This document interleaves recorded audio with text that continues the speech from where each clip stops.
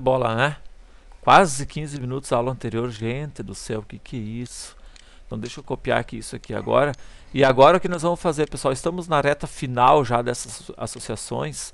Tá? Eu vou criar aqui, eu vou fazer agora um 1 para 1 bidirecional, bidirecional usando tabela associativa, né? Tabela associativa.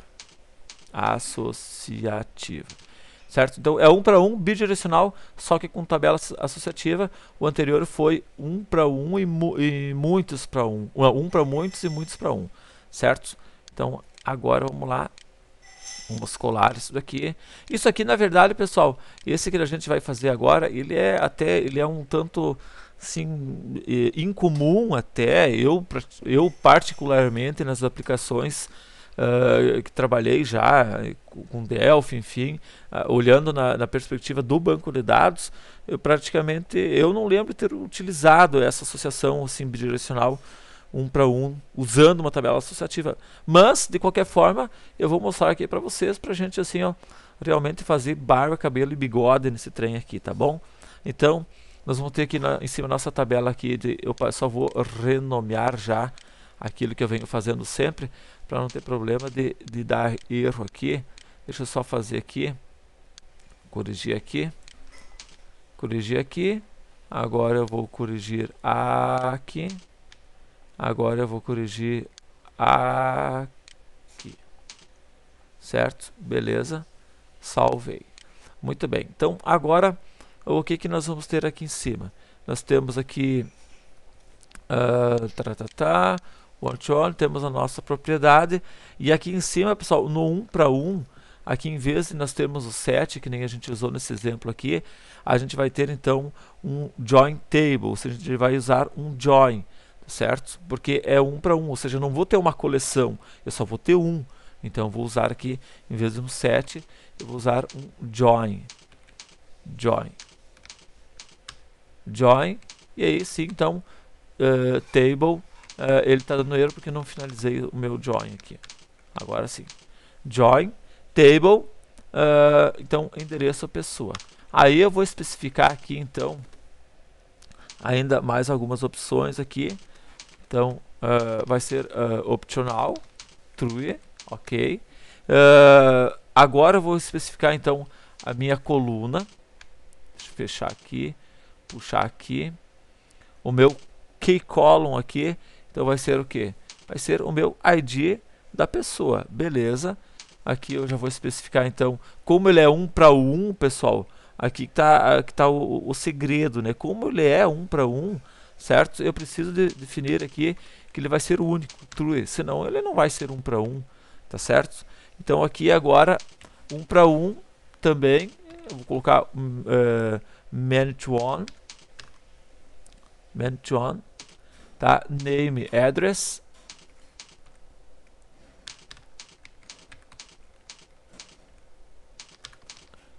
Beleza. Agora eu especifico então aqui, uh, também vou ter aqui, onde é que estou aqui? Name endereço. Uh, vai ser único, certo? Uh, também coloco aqui um not null para ele, para evitar que aconteça alguma coisa, né? E aqui agora eu não preciso estar informando aqui, opa, opa, o que, eu fiz aqui? Eu não preciso estar informando aqui o meu class, tá? Porque eu já tenho aqui o join table que faz, e, através dele ele já vai, o Hibernate já vai entender o que, que é para ser feito, certo? Então aqui, eh, beleza, aqui a princípio, deixa eu ver, acho que tá ok, not null, true, né, para evitar que uh, not null, true, né, para evitar que tenha uh, uh, que um cadastro não tenha um um, um ID informado. Beleza, o que mais que eu tenho aqui? Agora vamos vir aqui para meu, meu class aqui embaixo. Uhum, aqui. Então a gente vai usar aqui, a, a, veja que aqui já, aqui já vai ficar isso aqui, ó, join table endereço, beleza? Aqui não preciso mexer, beleza? Aqui também não. Ok, column, então vai ser o meu ID endereço, certo? Vamos colocar aqui um unique aqui também. Unique true. Certo? Uh, beleza, aqui. Já tenho o, o, for de aqui, aqui em cima. Aqui já tenho aqui o man one, né, com o name de pessoa, tá? a coluna que vai ser de pessoa, not null, e aqui eu vou informar também um unique true para ele. Uhum, né, vamos botar aqui então aqui unique true. É, uhum, deixa eu ver, acho que é isso aqui. Se, se, se não se não der nada de forebs aqui, vai funcionar. Vamos então o one to one bidirecional com tabela associativa. Vamos só uh, inserir ele. Então é o one to one bidirecional com tabela associativa. Nossa. One to one bidirecional bidirecional one to one bidirecional bidirecional com tabela associativa. Está aqui ele. Achamos ele. Vejo que, olha aqui, ó, one to one com tabela associativa. Ok, agora vamos então gerar. Só vou eliminar lá no, no banco aqui eles.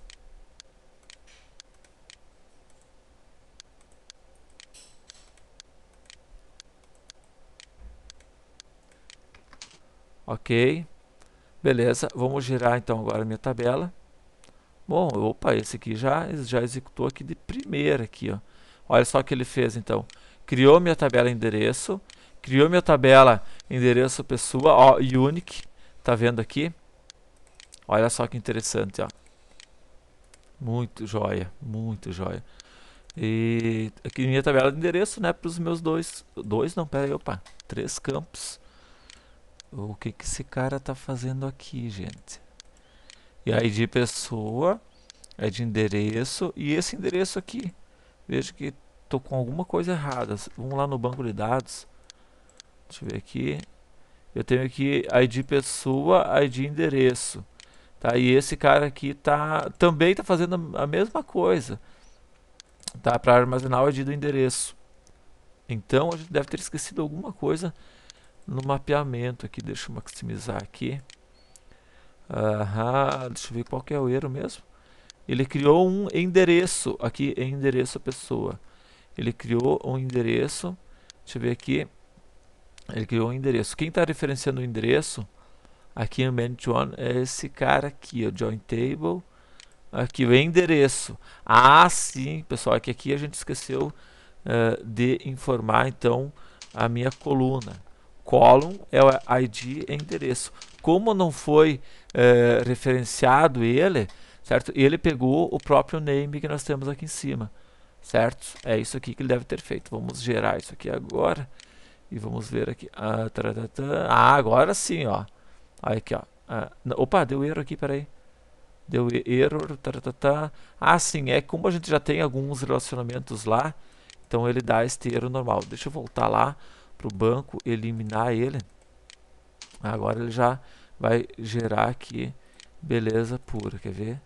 Ah, pronto, gerou agora, perfeito. Criou a tabela, pessoa, uh, onde é que tá aqui? Tabela endereço pessoa, agora sim.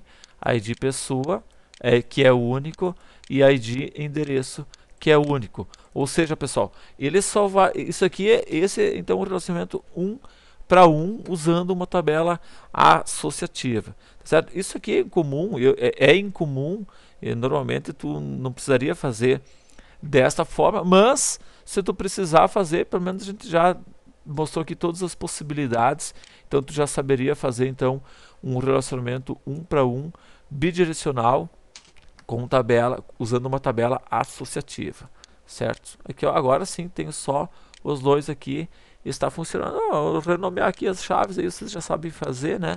Então acredito que não não, não há necessidade de a gente estar implementando uh, esses forms de key aqui, vocês já sabem como fazer para mudar os nomes aqui, tá tranquilo, tá beleza?